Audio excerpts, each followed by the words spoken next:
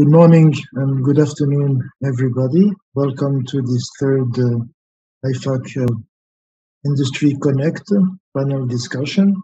I'm Moncef Chioua. Uh, I'm with the Polytechnique Montreal in Canada. Uh, and I will be acting as a moderator for this uh, panel discussion. So, a quick uh, organizational aspect for today's panel discussion. So, today, um, every panelist will present his uh, personal view through short statements and call for action. And then we will discuss uh, specific points related to today's topic.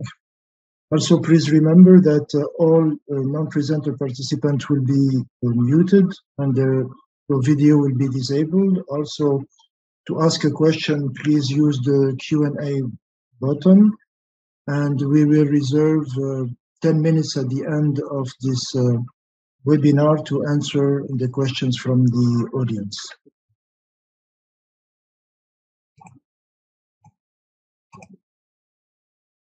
Let me introduce uh, today's uh, panelists. So today, uh, roundtable, we will discuss the evaluation of benefits of uh, optimization, uh, monitoring and control in various industry sectors.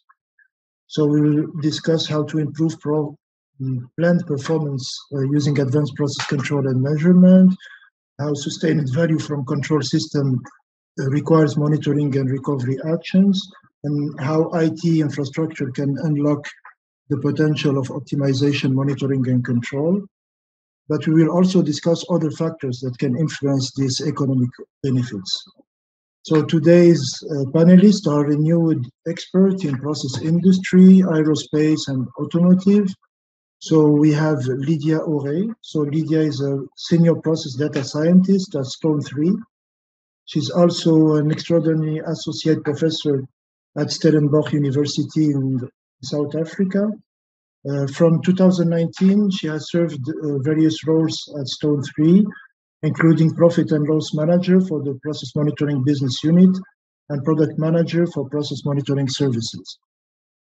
Uh, her research interests include data analytics, machine learning for process monitoring in uh, process industry, and she has a particular interest on the topic of today, which is the cost-benefit analysis of such topics, of such techniques. Sorry. Loutjie Coetzee is a principal engineer, research and development with Mintek. Uh, he's with Mintek since 2008. And uh, Luki has been working on developing and applying robust nonlinear model predictive control, specifically in the mineral processing uh, industry on different uh, mineral processes like milling circuits, thickeners, DMS, leaching, and also underground mining cooling systems. Uh, he has a broad experience in developing and implementing such system, and his solutions are now worldwide, worldwide used in several countries like Australia, US, Chile, Mexico, and Sweden. Oleg, Oleg Gusikhin is a technical leader and manager of advanced connectivity analysis at Ford Global Data, Insight, and Analytics.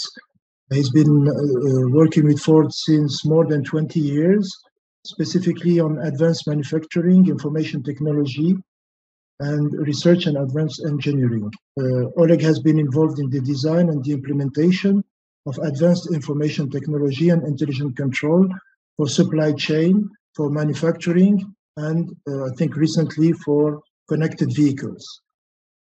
Then we have uh, Tariq Samad, so Tariq Samad is with the Technological Leadership Institute at the University of Minnesota. Uh, but before that, he spent, uh, I think, more than 30 years with Honeywell. Uh, he ended his career at, at Honeywell as a corporate uh, fellow, which uh, is the highest position in industrial research there. At Honeywell, he led technology developments in uh, multiple areas of automation and control for different sectors like process industry, uh, homes and buildings, advanced manufacturing, aerospace, and also automotive. And finally, we have uh, Stéphane Renou. So Stéphane uh, Renou is the president and CEO of FP Innovation. since 2017.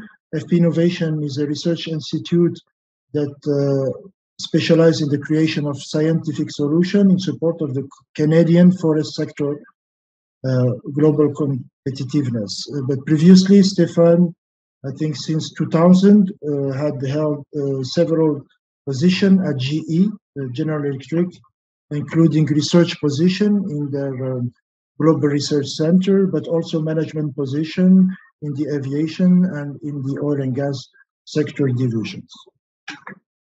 So here are, now you know who are our panelists. So I'm going to ask now each one of them uh, to quickly, please, uh, summarize his thoughts on this topic. And uh, we could start with Lidia, if you don't mind. Thanks, Moncef. Let me just grab my screen.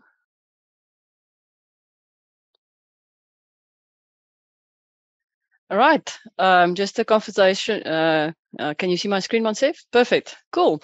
Um, yeah, so uh, my kind of call to action or note that I want to contribute is the um, uh, idea of uh, monitoring benefits. Now, what I'm showing here uh, in the top left corner is just that control and optimization has got obvious benefits, and several of the other panelists will discuss that as well.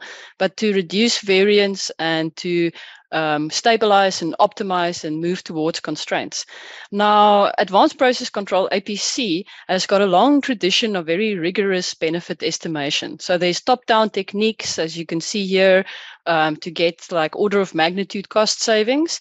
And then there's nice formal frameworks for bottom-up estimation, even before you implement the controllers, uh, but also nice rigorous on-off tests after you've implemented controllers. But uh, control and optimization is more than just APC. Specifically, what uh, my interest is and what I've looked at and what we uh, research a lot is looking at sustained value.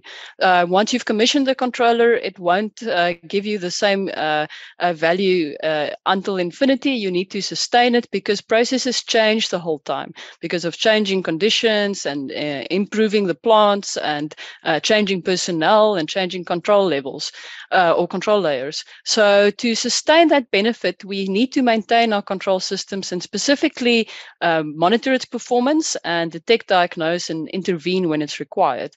Now, this aspect of control and optimization, estimating that benefit, the benefit of control performance monitoring um, is not that well established in terms of the frameworks and how to quantify it.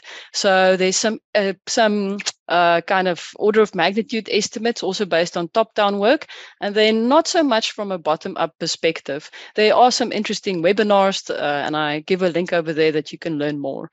Um, but uh, something that I'd like to share and and and uh, give some uh, seed for thought for everybody on the call is just uh, an approach that we've tried to um, piggyback on the well-established methods for estimating control benefits from APC uh, and we say, well, control performance monitoring uh, means that we can unlock more value from the APC unit by making sure that it's uh, got 100% uh, uh, health most of the time. So what our framework does is we um, look at the potential um, extended time that the system would have been in an unhealthy state um, if we didn't have rapid uh, detection and identification.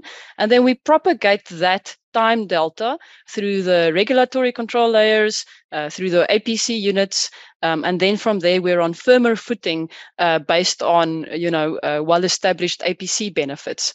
It's very interesting to to see how to do this bottom up. If you are have a case history of lots of different examples of uh, uh control performance issues, you can uh, plug it in and pump it through this framework. Uh, and then from experience, we've seen a lot of uncertainties arise in this framework, but that's okay. We are control engineers. We're not scared of uncertainties, and in our framework we uh, typically deal with it in a Monte Carlo analysis. So that is just a little bit uh, from my side, Moncef. I hope I, I, managed to stick to the three minutes um, on um, the uh, how to estimate control benefits uh, with control performance monitoring. Thank you. Very good timing, uh, Lidia. Uh, let's go then to Loutjie and see his ideas on this topic.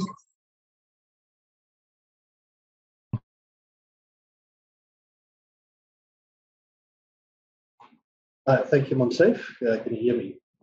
Just click. Uh, there we go. Okay, so basically, I'm connecting up to um, uh, to Lidia's uh, example here.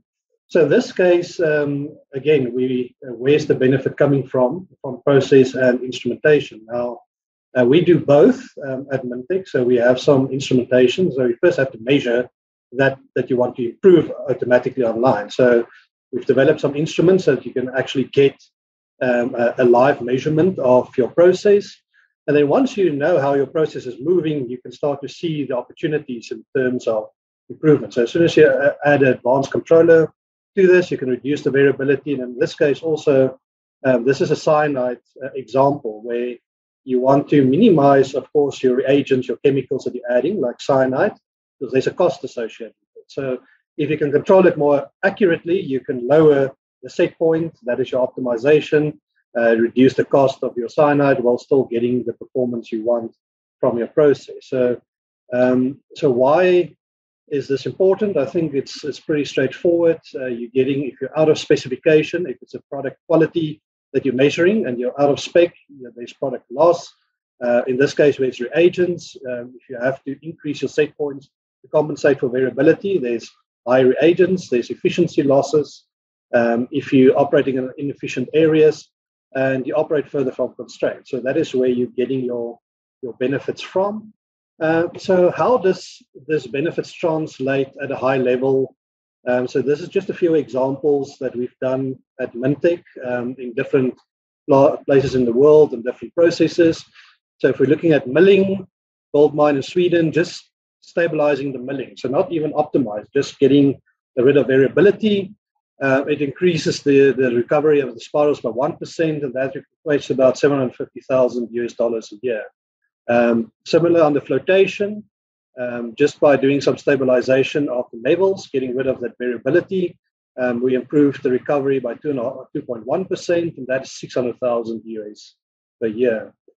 Here's again a combination of instruments. So we have our cyanide measurement instrument combined with advanced process control um, on leaching. So again, cyanide savings equating to about 400,000 a year. Um, another one where we're looking at um, more chemical savings. So cyanide here was 500,000, lime reduction 6.5%, flocculant 9.5%, which I haven't even converted into US dollars. Um, then we're also looking at improved gold recovery. So here's actually product quality improvement. So we have a different uh, instrument connected with a control system. And just by reducing the, the soluble gold losses, that uh, results in about 700,000 US dollars a year. We move over to furnaces, and in this case, both of them, we're just looking at electrical efficiency. So putting in more electricity into the process um, and just by improving the efficiency by 2% to 3%, that equates to 700,000 US dollars in electricity savings on a 50 mega um, uh, MVA furnace. And then that excludes the production improvement that you can get um, by just consistently putting in the right amount of electricity. Um, so this is so my case is just to show that um, it's worthwhile improving the efficiencies of your process, even if it's by just a small amount, like one or two percent, um, the values add up quickly. So thank you. Thanks a lot, Loutjie. Uh, so now that we saw two good example in advanced process control, maybe Oleg can can share his opinion from different perspective. Uh, yeah. If you can Thank share you. screen. Uh, so, um, uh, can you see my screen? Yep.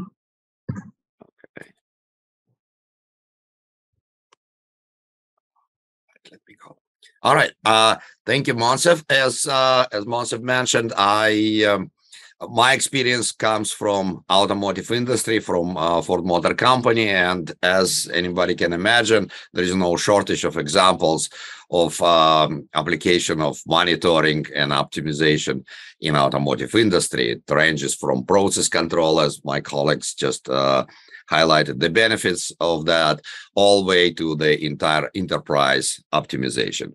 And uh, so uh, uh, this is some some examples: equipment prognostics and condi- condition-based uh, maintenance. This is a huge area, and right now, it's uh, it's getting more and more uh, well popular with implementation of AI and machine learning based models. Uh, now, what I would like to focus on the areas where I have direct experience, and this is a like a higher level control at the level of enterprise or entire production system. Uh, examples such as production scheduling. And uh, the difference between optimized versus non-optimized production scheduling typically results in uh, in about one million per year per plant savings. Uh, so these savings comes from a reduction of inventory, reduction of premium uh, freight. So sometimes when we miss the deadline for the shipping of the regular mode of transportation, economic mode of transportation, we have to ship it through the premium modes like uh, airplanes or truck versus versus rail. Um, uh, reduction in overtime, so line scheduling, uh, assembly line balancing. Well, many of you, I'm sure, are familiar with this type of problem. And again, uh, application of optimization, balancing, and monitoring of the line, monitoring of the current state of the line, or current balancing versus the sequence of vehicle coming in, uh, uh, results in uh, reduction of line stoppages if uh, uh, the operators will be overloaded. And in the last two years, I'm sure everybody aware of the importance of the optimization of the entire supply chain.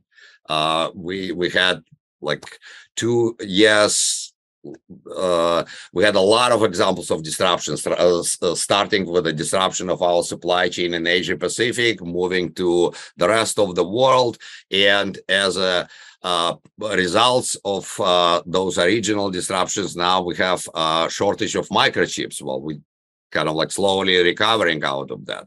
And application of the optimization uh, methods and monitoring of the supply chain becomes very crucial because when we have to make sure that there are hundreds of thousands of parts all come together and missing one part we cannot really produce the vehicle so monitoring the status of our supply chain availability of the parts and also optimizing optimizing what kind of combinations of uh, the models we can build so it we not just park uh, unfinished vehicles all over uh, the parking lot, but we can actually finish those vehicles and uh, deliver it to the customers. That becomes very critical. So outside of uh, supply chain and scheduling, uh, now, the new emerging area is uh, connected vehicles.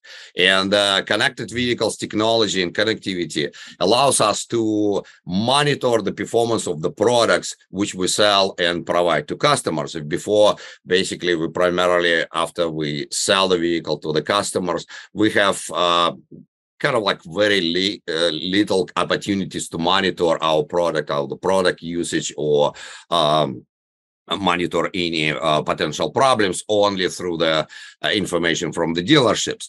Now with the with the connectivity, we can monitor well 24 seven and there are um, uh, we, we can already see a lot of benefits out of this monitoring and optimization of the products, like product analytics, uh, prognostics, location-based uh, uh services, cloud-based feature analytics and optimization. So in many times it uh, it provides additional services to all uh, to our customers, but also for us as a company, it allows to optimize our products and also to identify any potential problems with the products early on, so uh, to avoid any um, costly recalls, uh, which uh, basically one of the key um, issues in automotive industry. So uh, with that. Um, yes, I provided some of the examples, which slightly different from uh, more traditional process controls. Uh, and uh, hope it Thank you. you. Thanks a lot, Oleg. Uh, so let's see if I get technical problems. It's possible. all right. So it's interesting hearing all my uh, co-presenters here talking. I realize how much I I'm a corrupt researcher that became an executive. So I, I feel a bit ashamed today to talk to you, but that's okay. We'll survive through that. Uh, so, so listen, I mean, uh, what I want to show to you a little bit is a bit of a perspective from the forest industry side. Uh, the forest industry is at an interesting spot. Uh, you know, I, have been, as you said, Tariq, in the oil and gas industry, in the uh, aerospace industry, where performance and price, I mean, it's pretty clear what the metric are and what to do to get money out. So as a controller process engineer, you know what you need to push on a little bit more, reduce variability, get additional feature to the product. It's easy. On the forest industry, where we are today is actually at a crossroad. It's the crossroad of the social license to operate and the crossroad of the potential of technology to grow. The potential for growth is everything you can do with the forest to fuel the bioeconomy, which is coming down to using every molecule of a tree in a certain fashion to replace other products that don't have the same level of sustainability. It's also to transform the industry to enable it to be less of a bad actor from a GHG perspective, ensure we have renewable forest practices all through that through a lot of social license perspective a lot of technology perspective. The forest industry is not typically the most advanced technology. If you look at people cutting trees in the forest you have extremely high end operation in some part of the world. In others it's still people with chainsaws in the field. So how do we get there? What do we do well, first, let's recognize three things. The forest industry, it's all about economic growth. It's a huge economical players. In Canada, it's about 10%. It's a huge player in the climate change equation because forest does capture CO2s and can be used as a CO2 sink. And it's also a huge factor in regional development. So those are the fundamental vector for economic and social value. So what are the challenges? Well, first, I mean, forest is cool, right? It's a great outdoors. It's great to be out there, should we think about. It's great to be in the forest. Well, the problem we have is there's not that many people that want to be that far away. Sending engineer to the field to resolve problem to the mills is becoming a growing problem. I mean, my friend Tariq has been at Honeywell. I mean, they were doing a lot of optimization in several pulp and paper mill. Having engineers that go there that serve the system is more and more difficult having receiving hands is a problem. Having qualified engineer in the field that can take those solutions is becoming the biggest problem. So, in a nutshell, to get stay in my three minute, uh, Moncef, great transformation of the industry towards bioeconomy, limited availability of staff in the mills, in the forest to receive the technology, high variability of the biomass itself, if you don't believe in global warming, do realize that the forest is changing now. The species are not the same at the same location as before, and the industry has to change. Based on that, high uncertainty of the economics forward of carbon. We don't have a good set of well-established rule of how carbon will be monetized forward in minimal ways. So then it induces a lot of pressure on the industry. So we need to help with control, optimization, of combined process economics and process design, we need to help the industry transform. use potential for automation. Just keep this in your mind. Today, I can, with drones, look at every tree in the forest, tell which species it how much meter cube of wood it can produce. I can get that data flowing back to the entire system and optimize. There is no way I can teach each of the players in the line what to do to make to get to that optimal point. That's the challenge. How do I get to precise, concise solutions? I yield, Moncef. Thank you. Thank you, Stéphane. Um, so we're going to close with Tariq in these uh, short presentations.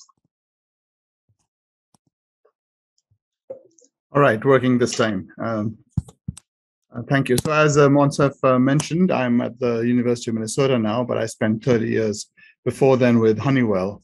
And this uh, first slide I have here goes back to more than a decade ago now, where we were we were realizing that we had all this control expertise in multiple different areas that had had created lots of value for the company and of course for our customers.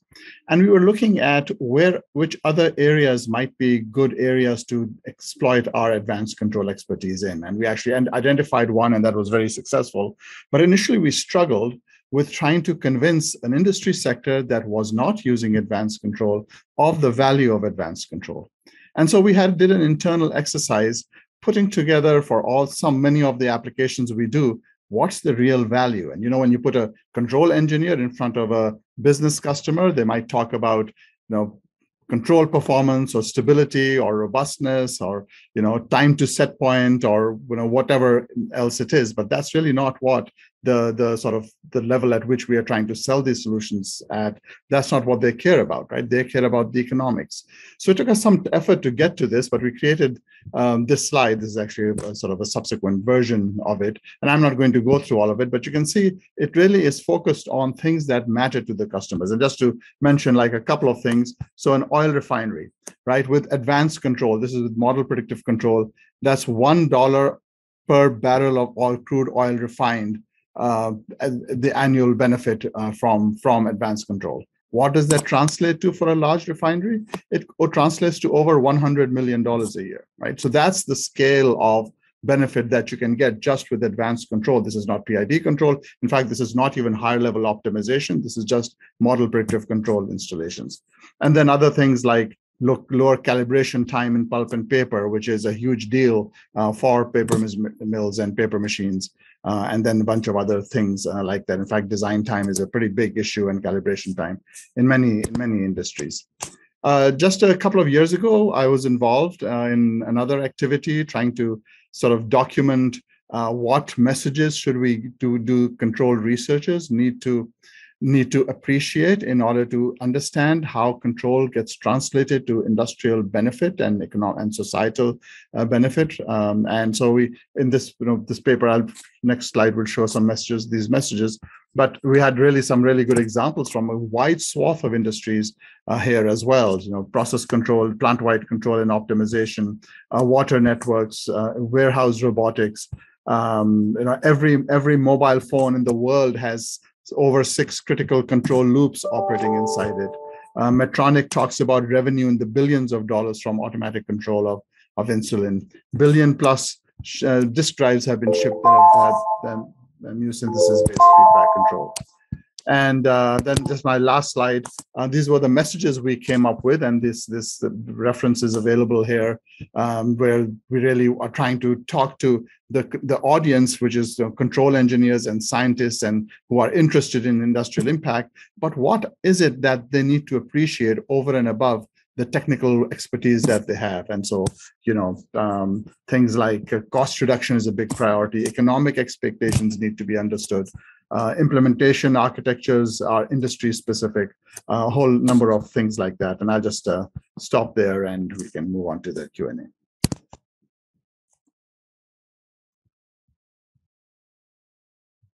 Thanks a lot, uh, for this uh, presentation. So uh, I think through all your presentation, we understood that clearly optimization control and uh, monitoring has a, a direct impact on the economic benefit, and that goes from chemical savings, recovery, quality improvement, improved electrical efficiency, reduction of inventory, reduction of line stoppage, uh, higher production rates, and so forth.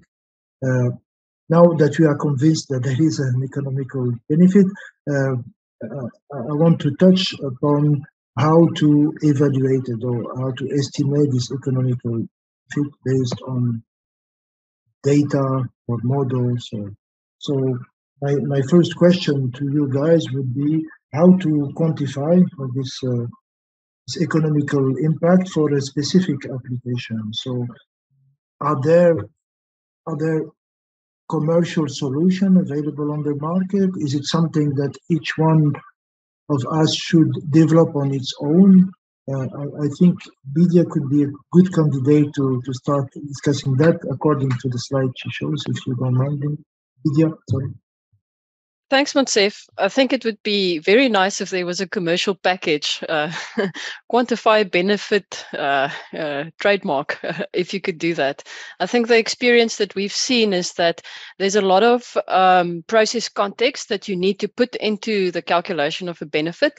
So there's some generic elements to quantifying the benefit of uh, control that you can do, like you want to compare periods where it's not on versus periods where it is on and then you gather information from the system in terms of you know the kpis that are relevant throughput and yield and things like that so that you can do a statistical analysis. So those are kind of generic for um, automated control uh, before uh, after analysis or on off analysis but then what becomes very interesting is uh, you know defining that kpi you know uh, sometimes just stabilizing isn't sufficient to show a monetary value uh, because you're just tightening the distribution. The mean stays the same.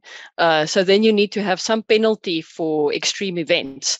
Uh, what's also interesting is uh, um, when a controller is switched off by an operator, for example, it might be due to some extreme events that your controller wasn't designed for. So then it's a little bit unfair to use that off data, uh, which is then very extreme against your on data. Um, so no, there's no, you can't import uh, APC benefit estimator in Python and then dump your process historian on it and get some value out. There is some generic uh, uh, rules, and that paper by uh, some of the references that I showed, Margret Bauer has written some interesting ones, and Prof. Ian Craig from University of Pretoria has been involved with research like that. So there's there's basic best practices, but on top of that, you need to understand your problem. And if you want to check for benefits of monitoring the APC, like I showed, that's that's quite unexplored territory, and that's mostly bottom up ad hoc estimates. Thank you, Lidia. Um, anybody else would like to, to comment on practical experience in evaluating benefits to i'll just say that one one general general issue in across many industry sectors is that that you know the, the from the point of view of the control people developing these new solutions it's hard it's hard to get customers to adopt them because many of these applications are safety critical or have critical sort of performance aspects to it. And there's a lot of risk that that a company is taking if it becomes tries to be the first one to adopt something. So getting that first customer that sort of reference customer or the first couple of customers is really crucial. And that's that's in every in every industry sector actually not just uh, process industries and I, I, just would like to add on uh, Tariq's comment about the first customer. So within, uh, let's say, even within one company, it's always very difficult to get the first, very first uh, system in place. And uh, so very often it starts with like pilot or prototype, where we kind of like uh, the pilot or this prototype is a research project to actually uh, analyze the potential benefits. And after we can prove out that it's successful and get some uh, quantitative measures, then we can create a business case for replication of uh, uh, this type of product. And um, so another point I would like to make also so when we create the business case with the estimation of the benefits, so we have to look at two sides, right? So one is what is the savings we get from this advanced application and what is the cost of the implementation and maintaining it? Because sometimes uh, you know, especially when we talk about some advanced technique implementation of, let's say, uh, now uh, quantum computing, right? It's very expensive. And we need to see, well, what is the cost of this implementation and maintenance versus how much we will save? So, because we definitely will save inventory, but maybe it will be only 10% and it's not that expensive and it's cost less than implementation of the solution itself. So it's kind of like even implementation itself is an optimization problem. So we have to um, look at those trade-offs. Yeah, and, if I may, Moncef, I think Oleg is right on here. There, there's a lot of good comments in there. The few things. First, I mean, we got to think like CFOs when we talk about benefits, right? And for a company, it's simple. It's if you're in a cost-driven company, it's capex and opex. There's nothing else. Capital cost and operational cost. If you can't quantify what you do in those terms, you're not even in the game because you will compete with others each metrics have their own each company have their own uh, metrics right? In the forest industry it's mainly uh, payback time. So from time you get money in the project to the time you're seeing the return of that money equally that's your payback time. It's seven to eight months in the industry today. From a capped buying a piece of equipment to a control project it's the same. Don't care. From a shareholder perspective money is money. So put ourselves on that. My last comment is the this one. I use that in my business today. In my research center, everybody is measured on CAPEX and OPEX benefits and payback time. Whatever they do, control engineers, process engineer, mechanical. So they have a better dialogue after. Here's the problem with us control engineer, and I put myself in that category. We are shy of telling the benefit we can get. Because of the safety critical nature of the work, we don't want to commit and then we don't get on the same level as others that actually taking a lot more risk because they know then it's just a sell then you will need to prove out then you need to have the first customer etc so we need to get out there a little bit more Okay. Yeah, I think. Um, sorry, just a quick uh, comment from my side. I think it's the same. It's uh, to take that risk, as uh, Stéphane has said, is how do you quantify or how do you how do you, how much uh, confidence do you have in your estimate up front? We know from history that it's there and uh, showed as well.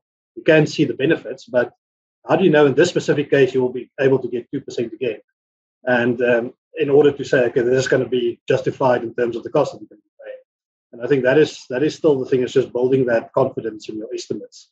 Um, that you can estimate it up front, validate it with data afterwards. Um, that is that's the that's the critical part.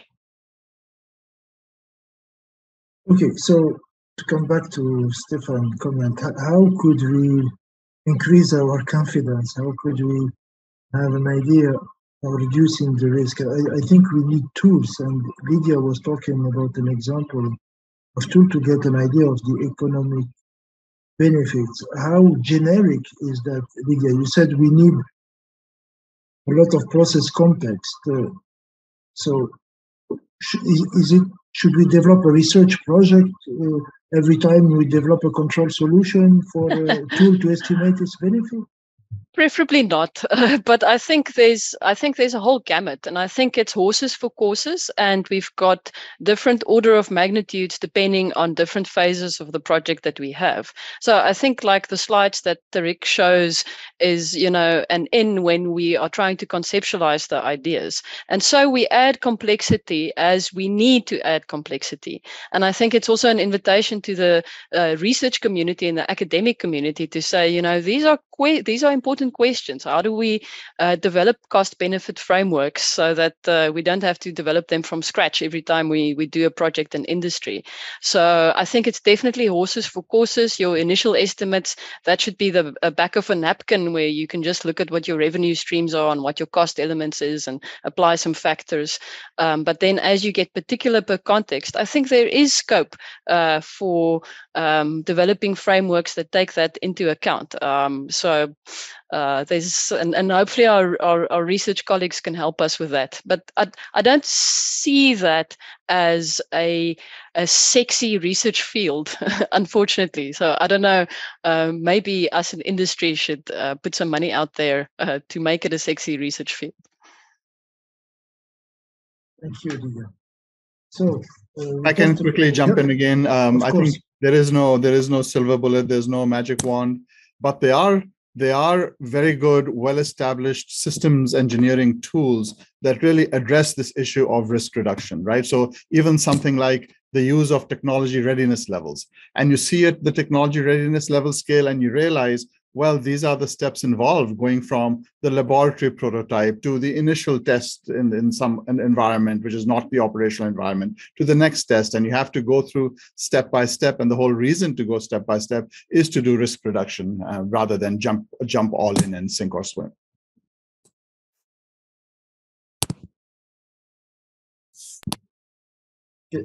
Very good point, Tariq. You can inspire yourself from, from domains of system engineering. Uh, now that we've talked about the, the framework, um, I, I, want to come back to this idea that uh, novel IT architecture could have an impact actually on the economic benefit of this kind of solution.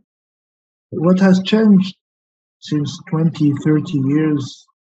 Would say today we could make more benefit from advanced solution like optimization, control, monitoring that we could have done uh, three decades ago. Could comment on that, Oleg? Uh, yeah, so uh, definitely there are a lot of changes which actually makes it uh, much easier, much faster, and more economical to try out and implement um, uh, different techniques. Well, AI, machine learning uh tools, uh, but also um, emergence of cloud computing where now we don't need to buy servers anymore. We don't need to spend huge capital investment anymore.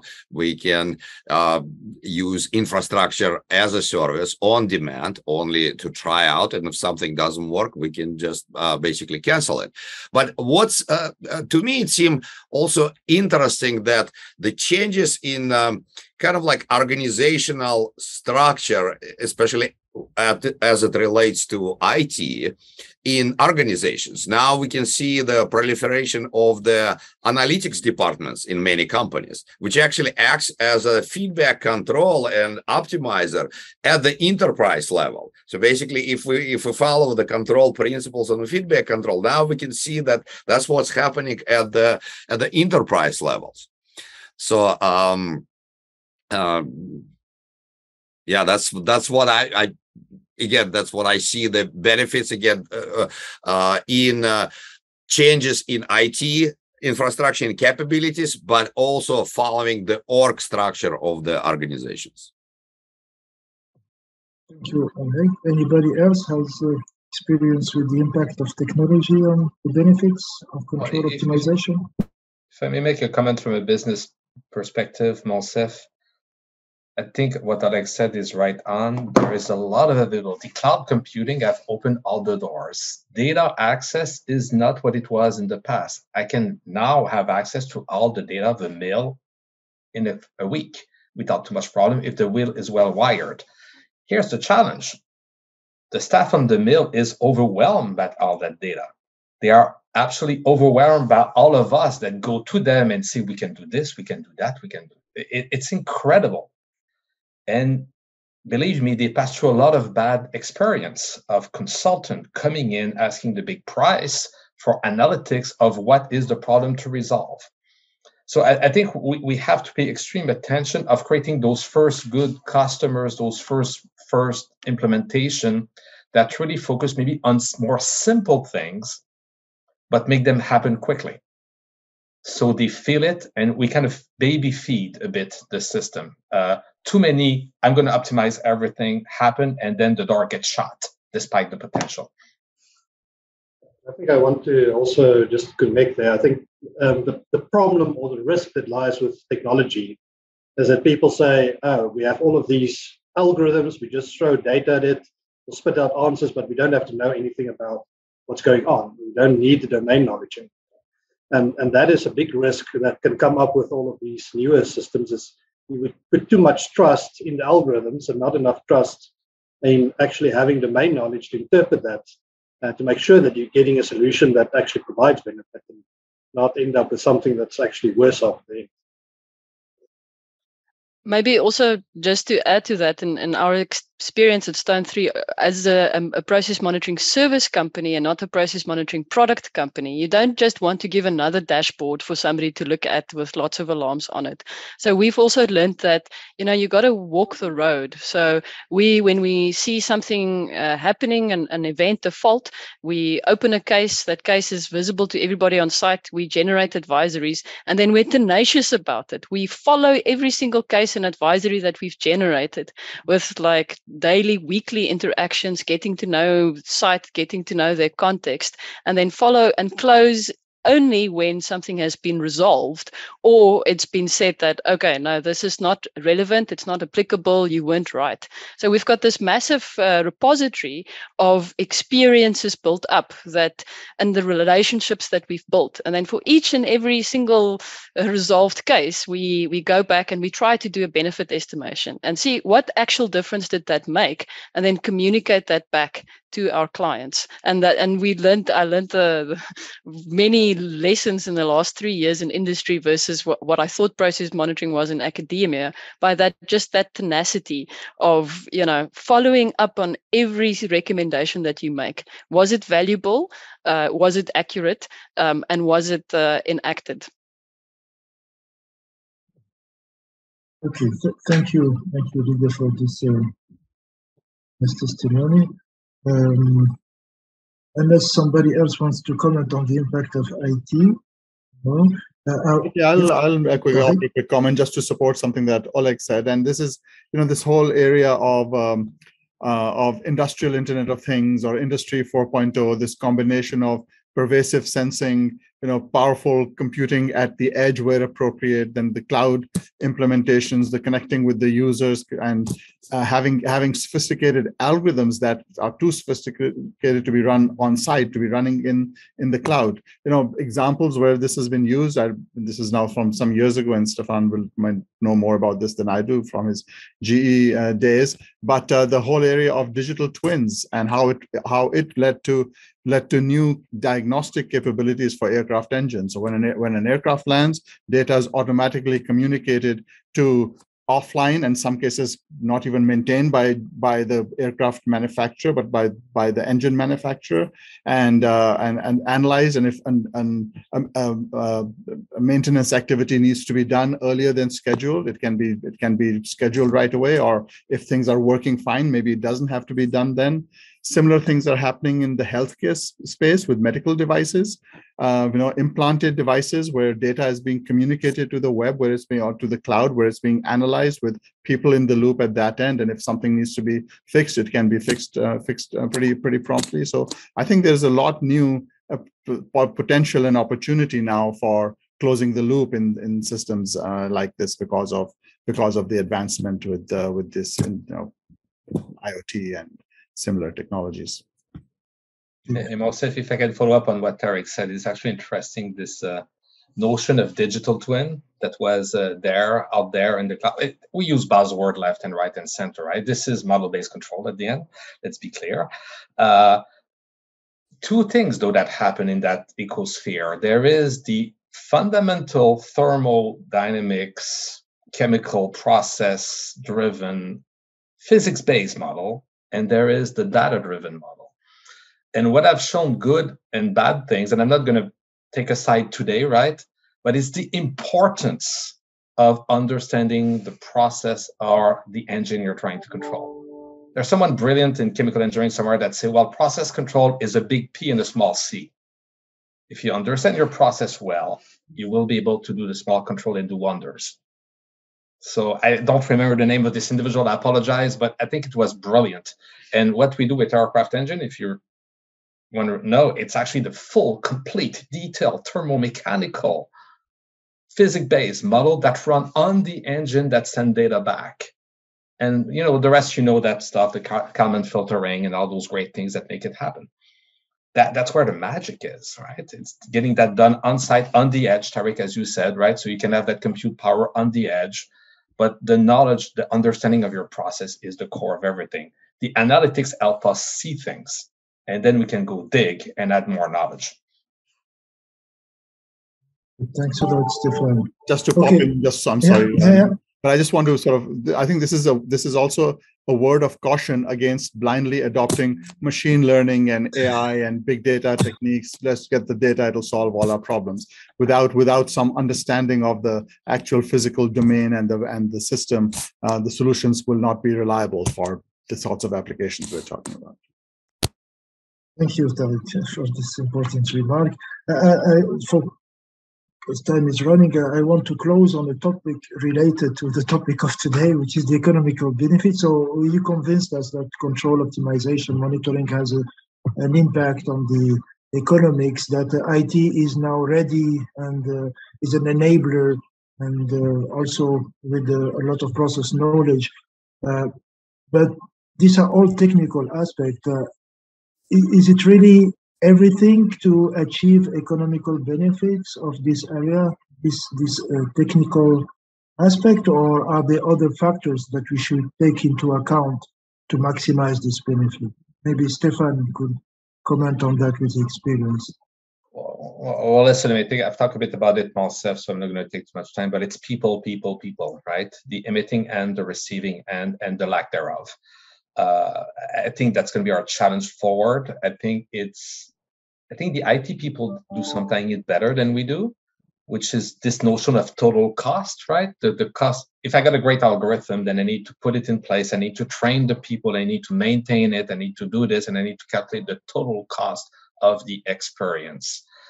Uh, if we take those management practice that seems boring to our control engineer, I know, but they are so important because the maintenance of the model, as you know well, using MPC and etc. In, in a mill, it's huge. And when you don't have the people that are used to do it at the mill anymore, then it collapses on you. So th- that's the, the total view, right? Not just the benefit of the algorithm, but the total view of what it is to maintain it in a mill, in a product. I think that's what we need to think about. I think No, I think we have to adopt a broader perspective. In fact, it's not just about the technology and having success with technology requires many other pieces to, to fall into place as well. And one thing we haven't discussed here so far is the topic of, of policies and regulations and legislation. And, you know, uh, for many of these applications we are talking about, uh, there are, they are, there are things you can do and things you can't do because of constraints that are imposed by not just by customers, but by nations and governments and international organizations uh, in some cases as well.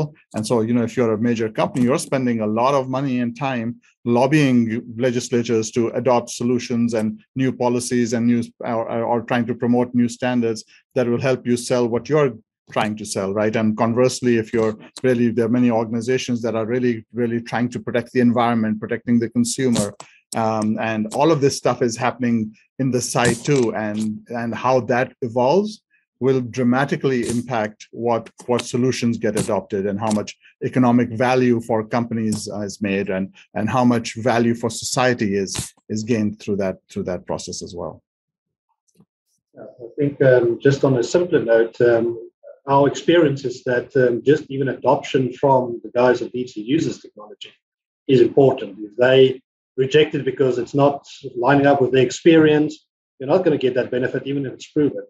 Um, so it's a whole change management, it's a training exercise, it's churn that happens. So there's a lot of people aspects, but there's also process issues. Uh, the processes do change, or uh, in our case, and, and, and when I was processing, the ore changes quite often. And, like in forestry, the, the forest change, and that that has that has impact um, on on the performance of these systems. So um, so there's a lot of other factors that that, that play a role, not just the technology, uh, in how successful or not successful they are. Maybe I can uh, also add to that. I think the we can also spend a little bit more time explicitly thinking about the impact that uh, control optimization and monitoring has on the workforce that uh, you know once change management has success, been successful once we get uptime for our solutions you know what um, what are the changes then required for the workforce?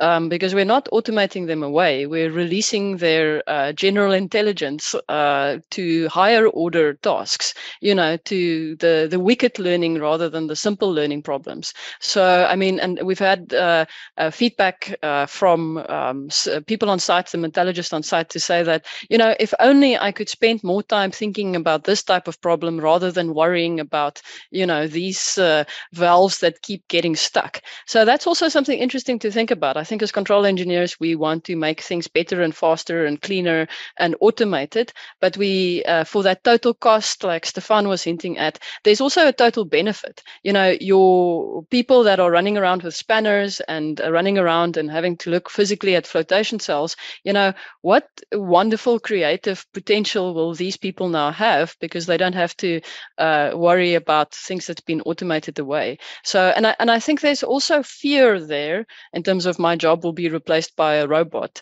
but there's also potential and opportunity and, and upside and realities and, and total cost and total benefit. And it, it's interesting. Um, I don't have the and maybe Tariq and the, your experience, you might know more about it. But what role is the the control community um, and IFAC even perhaps playing in in investigating that change in the way that the world works? Yeah, we need to be doing more in that context, and um, communities like IFAC and others similar ones tend to their their customer base and their membership base is largely the research community. So you know at the same time, all of all of us want to have an impact in the real world as well, and that that gap isn't easy to bridge. So that's actually the the, the rationale for setting up the IFAC industry committee that uh, several of us are are on. Um, yeah. All right, thank you, thank you, everybody, for your valuable comments and uh, thoughts. Uh, I'm looking at the Q&A. I don't see any questions from the audience. Um, so we still have a couple of minutes for the audience to ask questions, if any.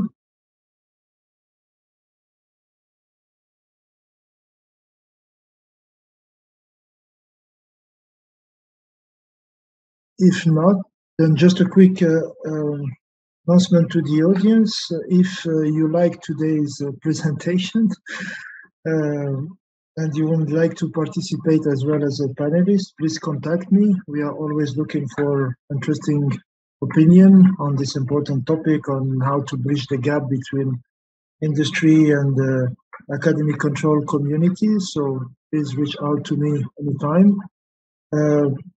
So I don't still don't see any questions. So I would like uh, to thank again all the panelists uh, for their presentations today. And uh, it's now time to close our uh, third IFAC uh, Industry Connect webinar. And uh, you will receive, hopefully, invitations for the next webinar soon. and but uh, if you have any ideas on topics that uh, are interesting for you, and also uh, your ideas are also welcome, please send us your ideas and your comments. Thanks again uh, to our panelists. Thanks to the audience uh, for staying that long. Uh, and see you in the next IFAC Industry Connect webinar. Thank you.